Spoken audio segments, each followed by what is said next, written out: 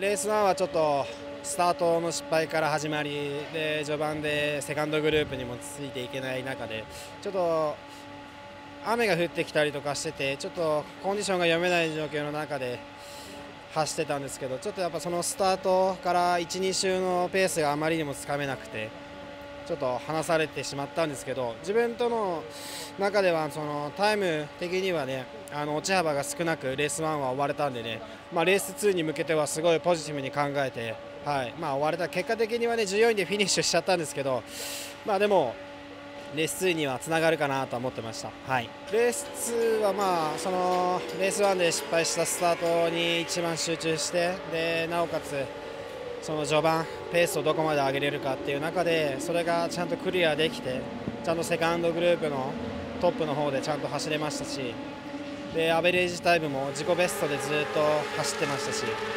でなんとか最後の最後であのね、チームメートの小山選手を1コーナーでなんとかさせてなんとか最後まで抑えきって初めて友内君に、まあ、勝てたっていう中では、まあ、チームとしてもまた大きくステップ踏んだと思いますし、まあ、自分個人としても、まあ、大きくステップしたんじゃないかなとは思ってます。はいそうですねまず目先にあるのがもう来週のオートポリスなんで、えーと、まずは、ね、気持ちを切り替えて、えーと、その GP2 のマシンのことを考えて、まあ、レースウィーク入って、まあ、まあ、正直言うと事前テストが、ね、そこまでできてないんで、まあ、それはあんまり言い訳にはしたくないんでねあのできるだけ、まあ、表彰台出るからには優勝、まあ、でも最低限のことはして。まあ、チームに貢献したいなとは思ってます。はい、でまあ、アジアに関しては次、ちょっと間は空くんで、まあ、その空いてる中で、まあ、ちゃんとチームといろいろ話してどこが足りないで足りないところを補ってもらえるように、まあ、これから話していきたいですね。はいそうですね、まあ、レース1、雨が序盤パラついたんで、その雨のパラつきの時うまくペースが上げられなくて、まあ、沈んだんですけど、まあでもその中でも着実にまあ7番手でチェックが受けられて、まあ、あのレースタイムとしてはねすごい安定してるし去年から比べても全然その決勝中のアベレージタイムが全然いいんで、まあ、そこに関してはまあ去年よりか成長してるのかなと。ただそのまあねまだポジションが7番手でトップの差もね去年は本当にすごい離れてたんですけどまあ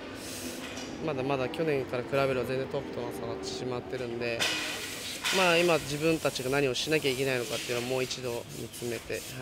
レース2も、まあ、あの序盤からうまくついてきたかったんですけど、やっぱトップ集団についていく前に、ね、ちょこちょこっとその周りの集団に飲まれてしまうっていうのがまだあるんで、まあ、そこが非常に厳しいかなと。はい。まあそこをねなんとか打開できるように、まあ、メカニックたちにもいろいろまあ相談して、まあ、頑張ってまあ次世につなげたいなと、まあ、まだまだそのサスペンションの方向でもまあ良くなる方向もあると思うんで、まあ、いろいろとやっていきたいなと、はい、思います、はい、レース1では、まあ、トップにも立てて立てたのはいいんですけど自分がトップに立ち走りすぎてバイクが垂れてしまって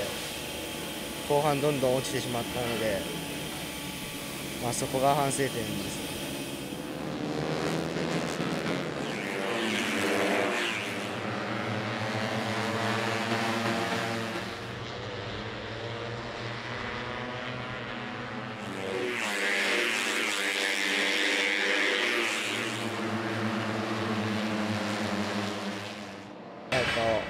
レース2はまあ、第1レースの反省点を生かそうと思いラスト3周までは、まあ、トップには立たず後ろの方で様子見ようと思ってたんですけど、まあ、それが失敗してしまい、まあ、8位という結果になってしまいました。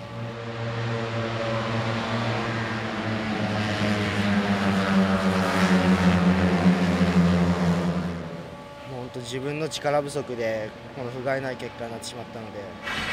次のインドネシアまでには、まあ、頭をしっかり使って自分の力をつけて、まあ、確実に表彰台を取りに行きたいです。